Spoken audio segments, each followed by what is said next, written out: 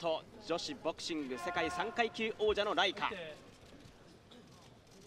さあ橋本さん、まずライカとしては総合デビューは韓国で敗れてしまいましたので。そうですね、えー、まあ、どこまで成長しているかっていうのもありますけどやっぱり殴りたいでしょうね。うまずはゲージからおっとキックおキック打ち返した。かなり激しい音がしました両者。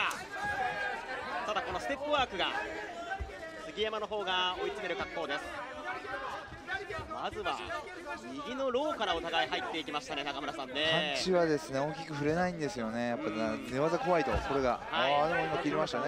うまいですね。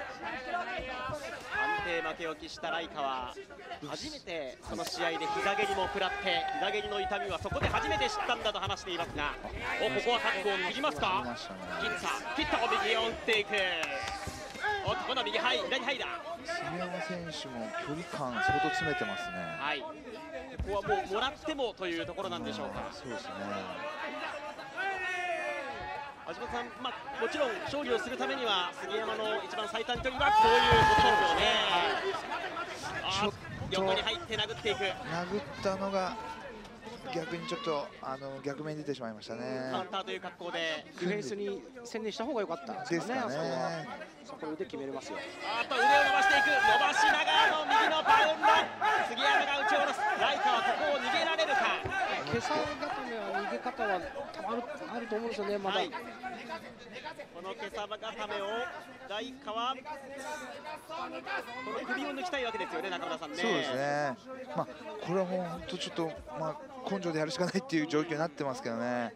試合でこれをまたもらうのもないか初めてか。まあ壁まで行けばいいと思うんですけどね、えーまあ、杉山選手は足入れちゃ奥にまた中入れてもいいのかなっていう気しますけどね。さらに体勢を盤石に。まあおそらくでもこのまま続けてればもう力尽きて帰るのを待ってるのかまあそういう状況だと思いますね、えーこ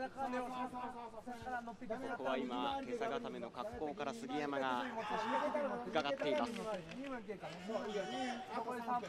方としてどこに力の加減をすればいいのか、今、腰は浮かしていますがね。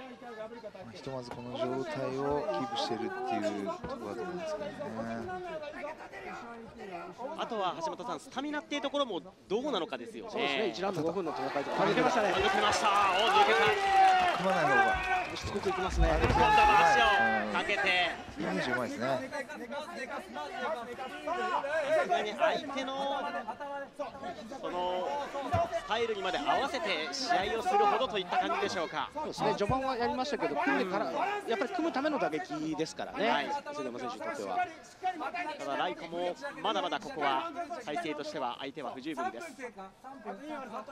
ライカ選手は寝技をやってみるというよりかは立ちたいですよね、はい、届いて距離を取りたい。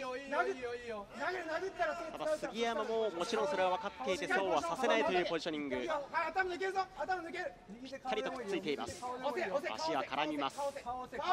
逆に杉山選手にしたらこの有利な体勢で相手が粘っても粘ってもしっかり攻めきるのが大事ですね。杉山選手は。杉山選手、まあ、自分でも言ってたんですけどもちょっとやっぱり勝負どころで淡白というか、えー、気持ちの優しさが出ちゃうようなところあるんで非常になれるかどうかっていうのが大事だと思いますね、この試合。はい相手はこの総合格闘技国内デビュー戦。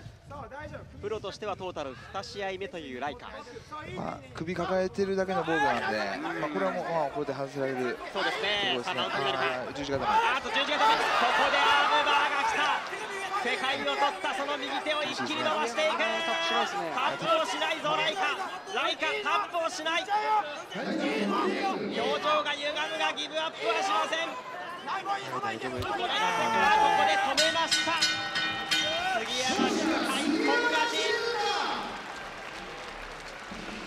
世界の拳を伸ばしていきました盤石です。ね、え。ー、杉山選手盤石です。ねライカ選手も全くタックルする素振りがなかったですね、ね、あとは途中、タックル切るところだったりとか、やっぱり真剣に総合に取り組んでるなっていうところは見えたんで、そうですよね、年齢もありますけど、これからちょっと着実にね、練習してキャリアを積んでっていうところですよね。今回キャリアの差もありますからね。あまあ、はい。それは大きいですよね、ええ。いやでもあの不意に見えたあのディフェンスとか、はい。ああいうところに本当にあのセンスを感じましたし、ええ。まあ何しかやってボクシングで頂点を極められてまたこう挑戦するっていうことは私はもうすごく尊敬しているというか、え。その潜在能力をまたどんどんどんどん伸ばしてね経験を積んでどんな選手になるか楽しみ。敗れたライカ杉山はまさにエースといった勝利